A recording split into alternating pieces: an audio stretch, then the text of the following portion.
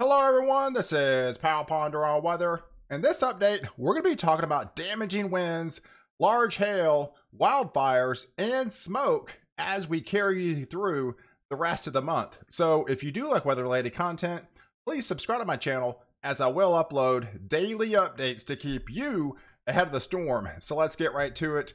Uh, this is the overall map as of this morning, July the 21st. There's several features that I wanted to point out here. Uh, first, there's that cold front that made it all the way down to the deep south into uh, parts of uh, Corpus Christi into the Houston area.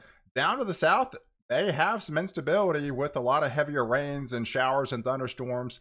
That will actually be lifting off into the northeast as we go throughout the, the next uh, several days.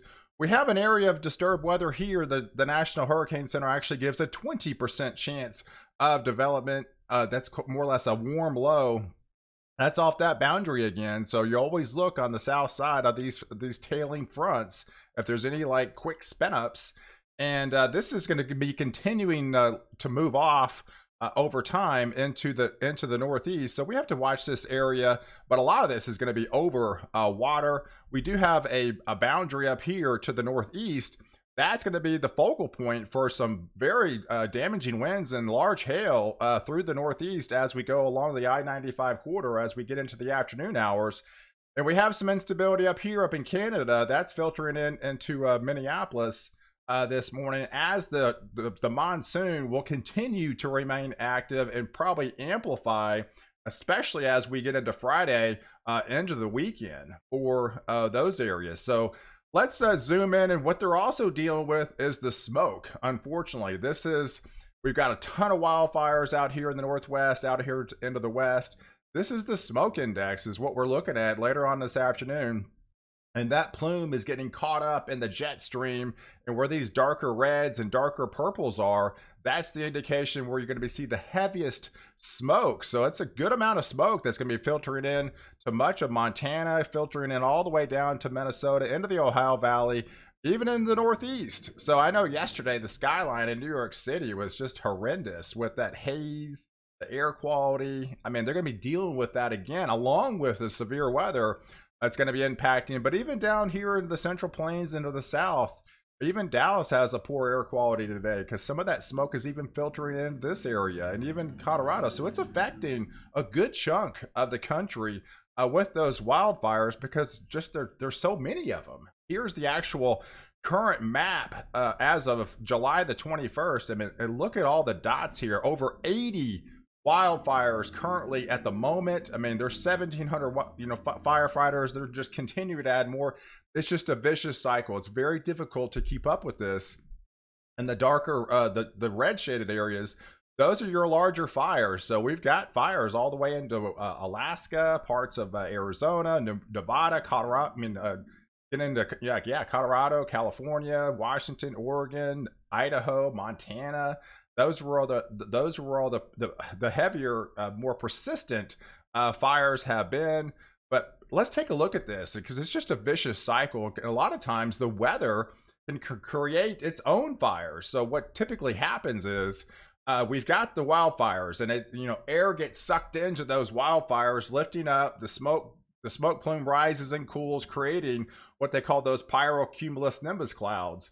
And as it as it lifts, the water vapor condenses, you know, forming those clouds. And then as it comes down, it has some of those downburst winds with some of the lightning strikes and the lightning sparks the sparks that fire and just creates that vicious cycle again as it as it you know with more smoke and then as it gets lift up the smoke gets caught up in the jet stream and the wind to down to the surface will just carry it through and keep jumping and jumping and so that is the that's the difficulty of what they're dealing with and look at the lightning uh, impact today. So from the from as we go into the heat of the afternoon again, some of these areas that are experiencing the wildfires again, yes, they could see some of those lightning strikes and a lot of these areas up here is what they call dry lightning. So that's the vicious cycle the firefighters are, are dealing with and it's it's just very difficult to contain those fires in that type of atmosphere. Unfortunately that looks to continue uh, for at least another week or two as the monsoon will continue to remain active. And a lot of these areas up here in the Pacific Northwest uh, will continue to m- remain drier, unfortunately, as well. But down to the south, we're going to be dealing with some uh, some bigger thunderstorms uh, today as we kick off uh, the afternoon hours. But if you take a look at the latest uh, high resolution data, and I like this map because this takes over of what uh, the rain could look like over the next 17 hours uh, it, through essentially midnight tonight. And so we've got that feature down to the down here off in the Gulf of Mexico. Most of that rain is going to be over water, but it's going to be spreading some heavier precipitation more or less along the coastal regions into South Texas, into Louisiana, uh, Mississippi and Alabama, and especially into Florida, where they've got kind of a one-two punch with this feature down here, and this also this warm low is going to be close enough nearby that's going to be kicking off those showers and thunderstorms. But up here in the Northeast, yeah, things could could start getting really active, especially around say two o'clock time frame for the Northeast, especially along the I-95 corridor getting into New York City, Boston, Jersey, all these areas along the coastal regions here could start to see some uh, some damaging winds, uh, some larger hail with these as the monsoon will continue to remain active out here in the Four Corners regions. But this time, a lot of the rain is going to be spreading into Durango and southern Utah as well. So that's going to be just more, even more prevalent as we get into, uh, you know, later on this week, especially into the weekend for that region. But here's your wind gust uh, later on today as these thunderstorms keep uh, start to uh, fire up along the coast. There's our bullseye along the uh, the northeast. That's where they could be experiencing some of those 60 plus mile per hour winds as those thunderstorms start to erupt. I do feel by one, two, especially like three o'clock in those areas, we could be looking at some, some strong to severe thunderstorms and then out here in the into uh, the Four Corners regions, there's those higher wind gusts as well with those downbursts, and that's along with the lightning. That's going to kick off some uh, flash flooding, but the smoke and the and the and you know the wildfire is going to be persistent uh, as you get further off to the north under the drier uh, vegetation. So there's your setup from the Storm Prediction Center. That's why they highlighted the the slight risk for severe weather right along that afternoon hours we're get we're talking into places. Yeah new york city you've been you've been hit hard this month. You're going to continue uh, to get pounded again into philly into boston into new york and especially into new, uh, jersey city. These areas could be under the gun for mainly the damaging winds but with that core, cold core aloft Yes, we could be seeing some of those uh, larger hail producing thunderstorms as well. So that's not out of the question if you could be under the gun for some of that quarter size, even baby ping pong size hail is not out of the question with some of these storms uh, later on this afternoon. And, and a lot of these storms down here into uh, the deserts, the deserts, basically Phoenix to Tucson, these are more or less damaging wind type storms with a lot of lightning. So not really hail producers uh, for them. So as we transition into uh, that Thursday, the zero Z is is about Thursday around seven o'clock time frame. On a Thursday, man, you, there's the boundary. We'll slowly start to lift northward as we go through time. Uh, and then the, the orange is depicted on that's the drier air. So we have a ridge in place that's been prevalent. That's going to be lifting off into uh, Idaho and Montana, and that'll eventually spread into the Dakotas regions but it continues to remain active into the desert southwest at these boundaries will be more or less off into uh, on the on the southern sides of uh, the coastal regions especially into florida with that kind of that one-two punch that we talked about uh, that's that's the day on Thursday, but there's your heavier rains. Yeah, it's going to be more or less prevalent over the monsoon regions of uh, you know getting into Arizona, uh, parts of uh, New Mexico into uh, you know Colorado here as well as uh, Utah here. Could see some of those heavier rains and flash flooding is definitely a concern for the for these areas. And as we get into Friday I just think it really just amplifies even more in those areas as the ridge starts to slowly build over the uh, the north central plains here and that'll eventually start to creep into the central plains as we get into the weekend and that's the indication where that orange is, is you're going to start be drying out over a lot of the central plains areas. So there's, you know, the precipitation gets gets pressed on either side of it. So that just more or less just intensifies the the, the monsoon even more because it just moves the precipitation over that region and uh, and then it spreads it off into the east as well. So a lot of it will be spread uh, and start drying out over the central part of the U.S. and then continue to be persistent over the desert Southwest as that boundary too will continue to remain active uh, for Florida. So there's your setup for Friday with that slight risk of heavier rains again. So we're not we're talking you know half inch, one inch t- at at times, and that's all it needs this area to cause some significant flooding uh, to be an issue. So, and, and, you have a lot of these areas almost have little to no warning when it comes down off the mountains. Uh, the, a lot of the drier vegetation, uh, it, you know, it, it's it's a kind of a dangerous setup uh, with these monsoons. And unfortunately, it looks like it's going to continue for a pretty good chunk of the week, and even in the next week, as uh, as we go into Saturday, I really start to see start to see it starts to really take over into that four corners regions. Well, that will become more or less the main story with a lot of the heavier rains as the ridge will slowly start to build uh, over the plains. And then we go into that Sunday time frame. It just dries out even further.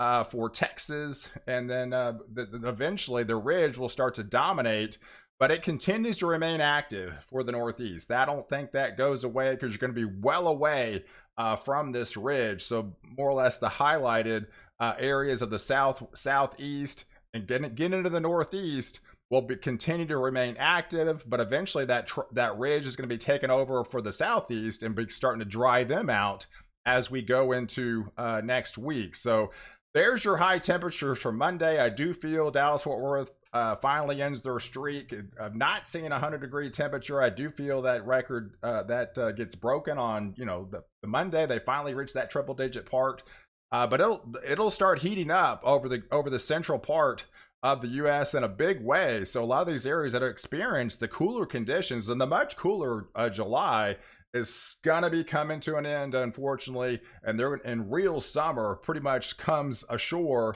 and it's really to be starting to intensify as we go throughout the week because this ridge starts to dominate. First, it starts to build over the central plains. Uh, by the time we get into Tuesday with with triple digit heat is a pretty much almost a certainty uh, under that under that ridge of high pressure. And then it just expands all week as as the drier as the air starts to dry on a daily basis and you get 100 degree heat it doesn't take much to kind of just amplify the situation and just really intensify that heat. So i do feel a good chunk of the country will start experiencing uh, well above average temperatures as we go through the towards the end of the month with that dominating ridge just starting in the plains but then expanding over time. And uh, we're we're if any anywhere under this close to the ridge here that's where going to be that's where you're going to see the sinking air and the rain prospects quickly go down in a big way under that type of atmosphere. And that's why the climate prediction center has already highlighted just a drier look as we go towards uh, the end of the month, but you can definitely see the monsoon remains active for them. So that's they're going to be experiencing the above average precipitation, while a good chunk of the country is going to be starting to dry out. And look at the temperatures; it's kind of the same thing. Where where the where the rain and the clouds are going to be, that's where they're going to experience the below average temperatures in parts of the monsoon areas. But where that ridge is going to be more prevalent and more dominant, that's where the higher temperatures are going to be and the higher anomalies. So yeah, a good, you know, 80, almost 90% of the country is probably going to be above average as we go to uh, the end of the month. There's your rain prospects over the next uh, 10 days. Uh, yes, bullseye right here into Arizona, parts of New Mexico, getting into portions uh, southern uh, Colorado, especially like into the Durango area. Could be looking at a lot of flash flooding happening over the next uh, week. As uh, where these whites show, that's where the ridge could fly. So it starts here, lifts northward, goes over the Dakotas, and starts to sink. And as it sinks, it just expands, it starts to dry out, Kansas, Oklahoma, into Texas, where those boundaries lie along the coastal regions, it continues to remain active uh, for the for the southeast in, in the beginning, but I think as the ridge expands, as we get into the end of the month for the southeast, those areas are going to be starting to dry out as well, and then all the precipitation will be forced away from that ridge. So I think Florida continues to remain active, as well as the Ohio Valley, and yeah, the Northeast. I do feel uh, you remain somewhat active as as well. So hey, I appreciate you guys uh, watching. Do like this video and definitely leave your comments below. And don't forget to subscribe to my channel to catch the latest update where I protect you before and after the storm.